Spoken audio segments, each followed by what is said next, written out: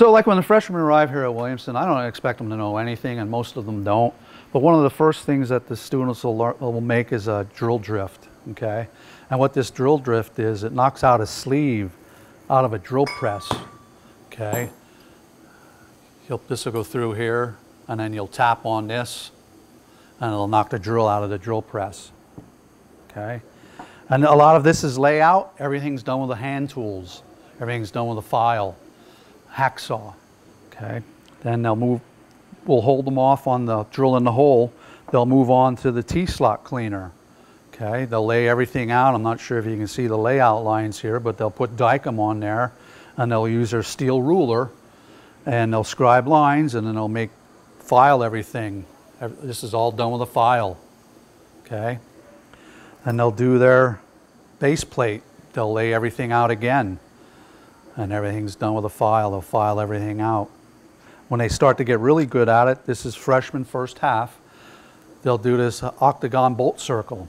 They'll lay it all out, and then by that time, we have enough theory in that we can move to the machine tool itself, the drill press, and they'll lay it out and they'll start drilling their holes. Okay. Then as the, uh, when they're done first semester is done, we come back in the spring. We, uh, for one of the first things they'll make is a step shaft. We'll teach them how to turn ODs. And then when they get that perfected, uh, they'll also learn how to cut right and left-handed threads. This is also another project. They'll learn how to do knurls, threading again. They'll cut some ODs and we teach them how to use an indexer to mill these flats. Towards the end of the year, spring, they move over into the, the milling department and they'll learn how to machine this C-clamp in the milling department. Okay. Then when the students come back junior year, uh, we teach grinding to them. Okay. One of their first projects they'll make is these parallels. These parallels are made out of A2. We'll teach them how to heat treat. Uh, they'll already know how to mill it up and put the holes in, but the big take from here is they'll go into the grind area. We'll show them how to grind this to plus or minus five tenths, okay? And we'd like for them to have really nice finishes, okay? So surface grinding is considered, considered a finishing operation. So finishes have to look good. They'll make these parallel clamps at the junior year. They'll make two of these.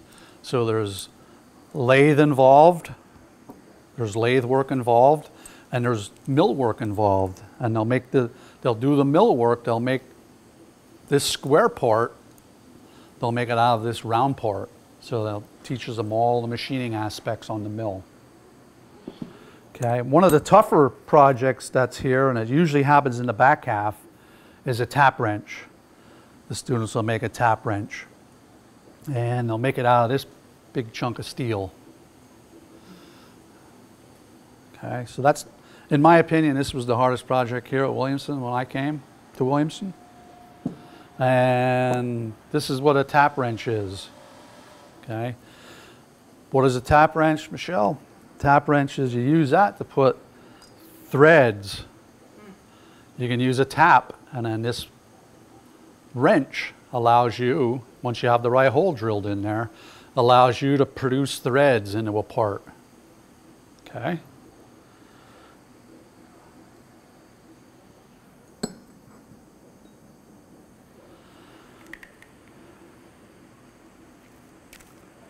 Senior year, we move on to senior year. The capstone project for the senior year is they'll make a vise like this here. Okay? There's a multitude of things going on here. We got knurls, we got round pieces, we got square pieces. The round pieces are done on the lathe section. Uh, the, the square pieces are done on the mill, on the milling machines. We got surface grinding involved here. So these jaws are hardened A2. Uh, the students will heat treat them. They'll draw them back and they'll go into the grinding area and they'll grind these. Uh, a lot of the guys will use these vices the rest of their life. Uh, at the senior level, they have metallurgy projects, tool design projects, and they'll have CNC projects. Uh, this is a, a really good example. This is a cube award that we make, and this was done on the Haas CNC mill. So that's pretty neat guy there. And it's made out of not quite this piece, is, piece of aluminum, but it's made out of a piece of a, aluminum like this.